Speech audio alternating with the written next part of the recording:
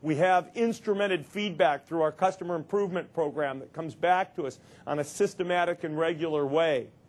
Here's a list of just some of the enterprise customers that we have worked with uh, on the development of Windows Vista, Office 2007, and the other products in this wave.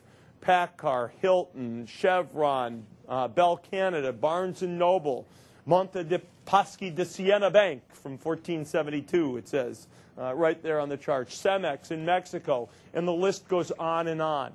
From smaller businesses on up to some of the biggest, most global companies in the world. These companies, like Scripps and others, are now moving into deployment phases in various parts of their company with these core and key technologies. But rather than just have me talk about that, we thought we'd have two of our customers come join me on stage to talk a little bit about how their companies are using Windows Vista and Office 2007. And so joining me will be Michael Wolf, President and COO of MTV Networks, right across the street here, and Shaygan Kheradpir from uh, Verizon, uh, also here in the greater New York area. So please welcome Michael and Shagan.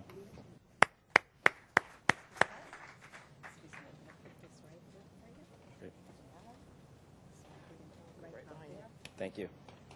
Thank you. Shaygan. Nice to see you. Appreciate it. Maybe I'll start, if it's okay with you, Michael, and tell me a little bit about the role of innovation at MTV Networks in general. Well, we're a company, we operate networks for MTV, Nickelodeon, Comedy Central, and what the hallmark of the businesses that we operate is about made fresh, just in content. Every day we're creating new information, new content, new experiences for our consumers. And so we always have to be on the edge. Our consumers are on the edge, they expect the latest from us. And so what we're trying to do by using these products is to ensure our people can collaborate, they can use the best tools to make sure that we in fact continue to be on the edge and that we're ahead of our audiences, we're ahead of the curve in terms of what's happening with society and with uh, and, and, and we're able to be able to get those people to work together and create. Well, as the father of three boys from 7 to 14, you're doing a great job, I know, in our house of capturing uh, uh, mind share. Uh, how are the new products that we're talking about today helping you support that innovation mission? Well, a couple of things. One of them is that is that our people are addicted to email and the use of Outlook and our ability to use it, use Outlook and all the features around it as a collaboration tool. But it's a lot of the other sharing. It's the ability, the fact that, that our people will be able to collaborate when they're creating scripts, and that somebody who's in um, in Mumbai can work with somebody in London, and at the same time with somebody in New York, and creating a show together that we can then the next day make sure we roll out around the world in a way that nobody else can. And what would you say to other companies that are taking a look at some of these technologies to help them gain competitive advantage? Well, I mean, I can't imagine this is going to be table stakes for anybody who wants to be in our business to be able to have these tools.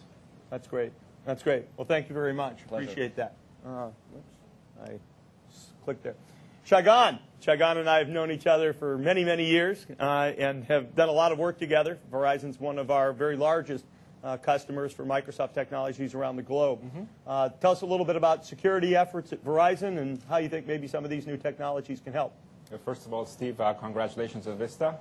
It's a great product. Um, in Verizon, uh, we support in IT and deliver products to, to about 200,000 employees. But we also do the same thing for millions of our co- consumers on broadband. And as you mentioned, the line between home and office is, is, is, is blaring very, very rapidly. So what they want from us is disruption-free, worry-free work. And uh, obviously, you know, we don't want to get in the way of their productivity. But one thing I think people are missing a little bit is with the massive MIPS that Vista is unleashing and with the massive bits that Verizon is delivering through the fiber network, those two things are coming together at the right time to create the perfect high definition storm um, that you know we don't want to get in the front you know in, in, in front of and, and, and disrupt. And I think that's going to change the world. So um, what we see in your security suite is, is really a, what we have expected which is a quantum jump in your layered security infrastructure. Uh, that helps really that. I mean you have uh, now, we, built within the operating system and within the architecture, um, is a, a security infrastructure that uh, makes me a lot less worried, and it's going to be a lot less costly to us and to our consumers. You've got things like what we call now UAC, user access control. Um, it's, it's, it's, a great tool. Uh, BitLocker, and you know, as, as, as many of you know, encrypting laptops is a slug, right, today. And with BitLocker built in, I know I can, you know, worry a lot less about you know, laptops being stolen. Um, and uh, your digital rights management. Um, if I want to send you a file, I can and specify only Steve can open it. And by the way, Steve can't print it. And the same technologies, by the way, talking about the blurring of the line, our consumers care about. So, for example, on digital rights management, we want to be able to transfer media, movies, music, data from the PC to our TV product, Fios TV, and vice versa. My DVR recordings from my DVR onto my PC so I can empty out the DVR and, and so forth and so on. So um, um, you've done, as we expected, a great job and really a quantum leap in, in security and privacy for us. Talk, talk to me a little bit about mobility. I visit Verizon. I don't see a lot of people around the headquarters. It feels like, yeah, a lot of people out, out in the world working uh, uh, with customers. Uh, how do these products help you with the mobile workforce? Well, on the mobile side, uh, as you probably know, uh, in Verizon now, we pretty much solely issue laptops to the, to the knowledge workers. We sort of moved away from the desktops for the reasons that, that you just mentioned. And with that, it, it's great, but uh, a couple of things we've got to get right. One is you know, encryption of data on the laptops. We talked about BitLocker. It's, it's, it's a great help to us. But also, when people take their laptops with them, they do work offline, at home, on the, on the road. And then when they come back to work, we want to synchronize that with our file servers sort of seamlessly. And uh, you know, they, have done a great job of that. And uh, uh, last but certainly not least, when I tell the laptop to go to sleep, it actually now goes to sleep. So congratulations.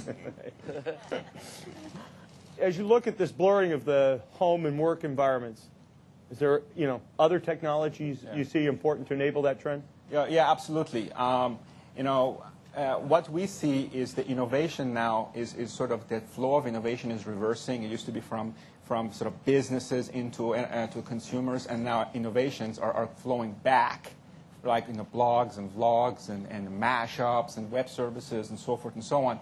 And for example, I run a video, you know, vlog, a video blog uh, for the IT folks in, in Verizon, and it's been like you know, the best thing in terms of communications with my team. They don't come to see what I write. They come for the videos. Now, the videos today, uh, the multimedia, are, are pretty much narrowband. They're small. Uh, the fidelity isn't that high.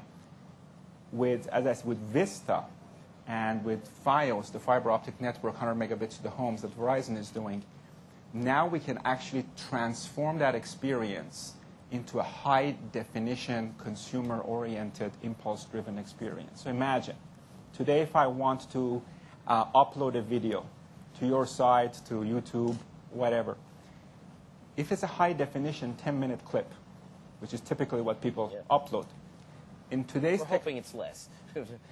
yeah, you have it turns out it's more now, but okay. Uh,